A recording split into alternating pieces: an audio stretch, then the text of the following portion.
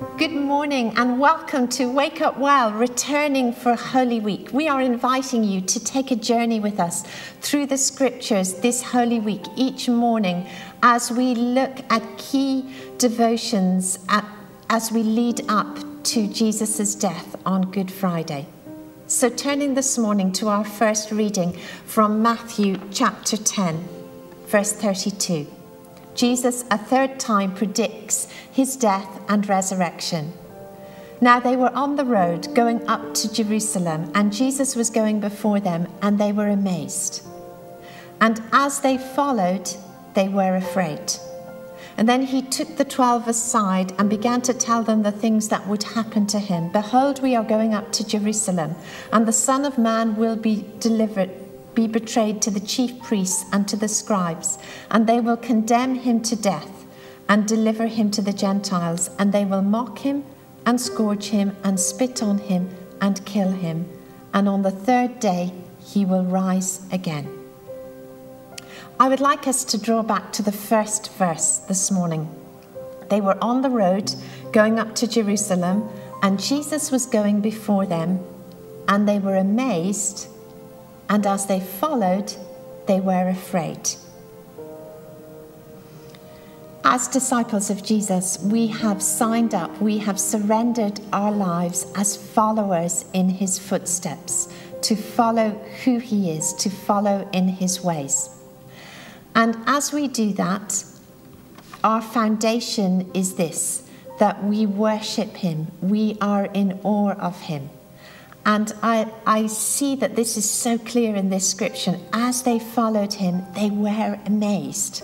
I have looked at different translations of the amazed. It, it, it, means in awe. It has this sense of the fear of the Lord, in awe of who God is. And one translation said this that it was a sense of dread, maybe um, awe and amazement, but slight hesitation might be the correct sense.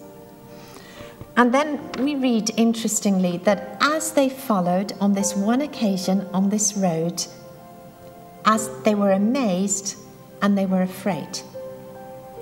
And often our lives can feel like that as followers of Jesus. Sometimes stepping into what he calls us to do or following in his footsteps uh, may leave us with nervousness, feelings of what, what is to come. We need to be clear about separating out that sense of fear of the Lord and awe, and also just fear in our lives. Earlier, uh, at the start of this year, Nick spoke very clearly to the church on fear. It was a word that God had given him that we must address fear. Fear is is paralyzing people. Fear causes us to think irrational things, to make unusual decisions. Ultimately, it cripples us. And uh, this can be all sorts of fears that are prevalent in society today. And we have deep emotions around fear.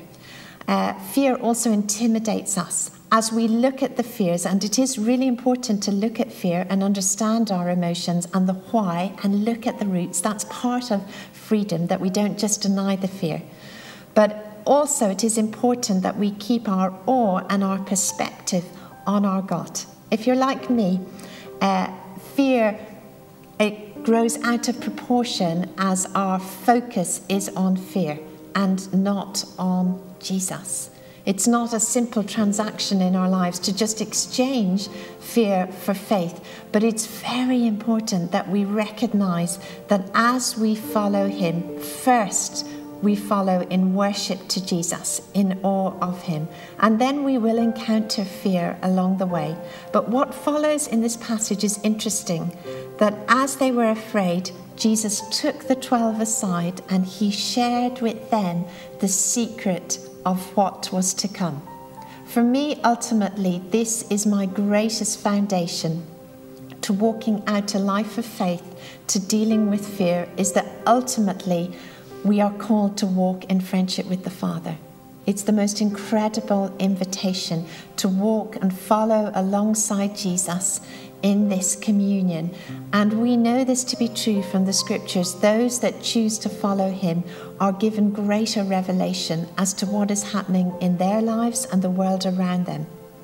I used to have a little sign in my house that I looked at regularly as I got up in the morning, and I'll leave you with this this morning. It said this There's nothing that I won't go through today that we won't go through together. And there was an image of a child in a father's hand, holding hand to hand.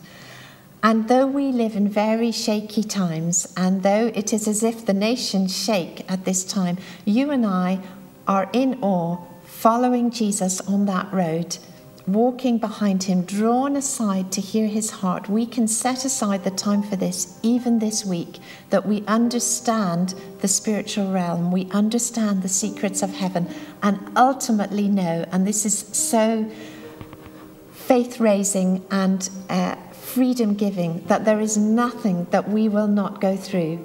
Uh, that we will go through, or nothing that will happen in our world that we won't have the ability to hold on to his hand and walk through with our Heavenly Father. May this truth bless you at the start of this Holy Week.